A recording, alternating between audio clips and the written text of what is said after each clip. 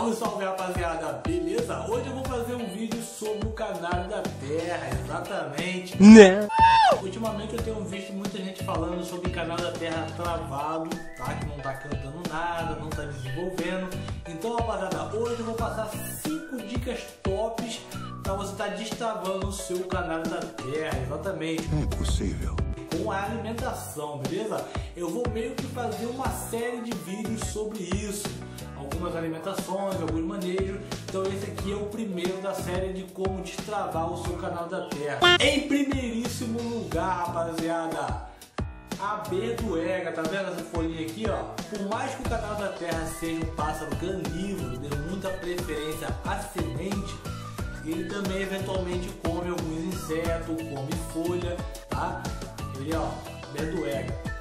Cara, geralmente nasce em qualquer lugar, no quintal de casa, às vezes na frente de casa também, tá?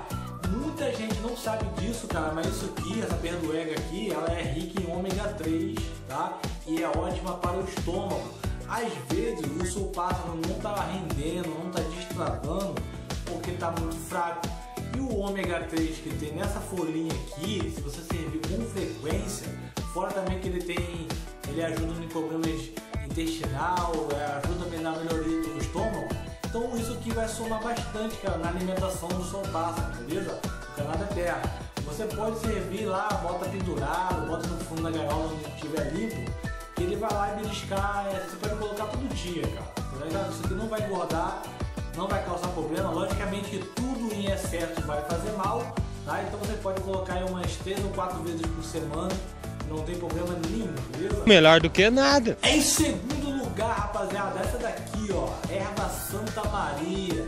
Tá ligado? Essa aqui, ó, geralmente é, as avós antigamente, as mães de antigamente, exprimiam isso aqui com leite, tá ligado? E servia para as crianças. Por quê? Porque isso aqui é bom para diluir verme, para tirar verme.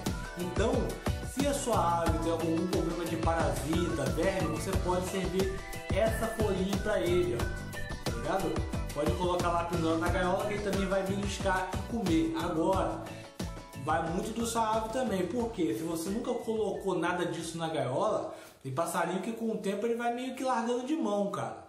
Entendeu? Então pode ser que no começo você vai fornecer folha para ele e ele não vai nem ligar. Mas é bom você acostumar ele de novo a beliscar folha, beleza? Então, essa aqui é uma outra ótima dica também para você estar tá servindo para sua ave, beleza? Em terceiro lugar, rapaziada, o caruru, beleza? Existem dois tipos de caruru. O caruru azedo e o caruru comum, comum, que é o que eu tô falando, que ele nasce com um monte de folhas e em cima geralmente tem um monte de semente, tá?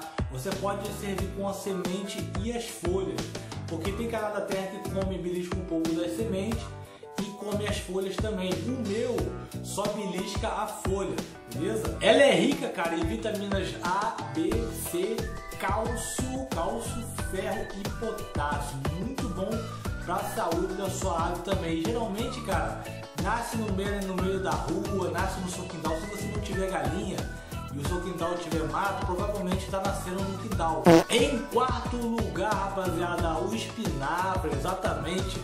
A gente fica pensando que espinafre só é para ganhar força, mas não. Na verdade, a espinafre, cara, é muito bom para visão, combate a anemia e é bom para os ossos, rapaziada. Então, se o seu pássaro está um pouco debilitado, acabou de vir de uma muda, é interessante você também começar a colocar na dieta dele o espinafre, beleza? Para dar aquele levante da ave, aí esse tipo de coisa vai destravando ele aos poucos, beleza? Bora! Quinta dica, rapaziada, para você estar tá destravando o seu canal da terra é você oferecer para ele couve, exatamente, aquela folha verde que geralmente vende no hortifruti ali, baratinho, em torno de dois reais, você compra um amarradinho.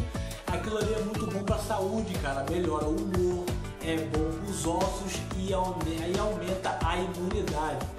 Outra coisa que realmente vai somar na dieta dele, porque, como eu já falei, se ele estiver vindo de uma muda ou estiver muito fraco, com uma alimentação muito fraca, ele pode estar travado por isso. Então você servir todas essas dicas que eu estou passando aqui, a longo prazo ele vai melhorando, porque tudo que é natural, rapaziada, você tem que servir com frequência, beleza? Então todas essas coisas que eu citei aqui, você tem que manter na dieta dele durante a semana, durante o mês.